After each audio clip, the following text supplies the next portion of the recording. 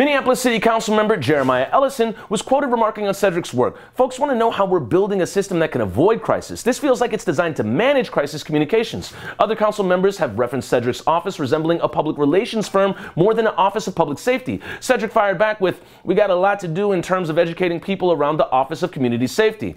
Let me interpret. Jerry, is that what they call you? No? All right, Jerry, I'm gonna square up with you and keep it a buck, man, because I don't got a lot of time. I got a lot of things I gotta do that you don't know about, all right? And you don't know me, okay? You don't know what happens in the Office of Public Safety, all right? Okay? I do a lot of things, man, that y'all don't see, all right? Have you failed twice upwards into a job? No, you haven't?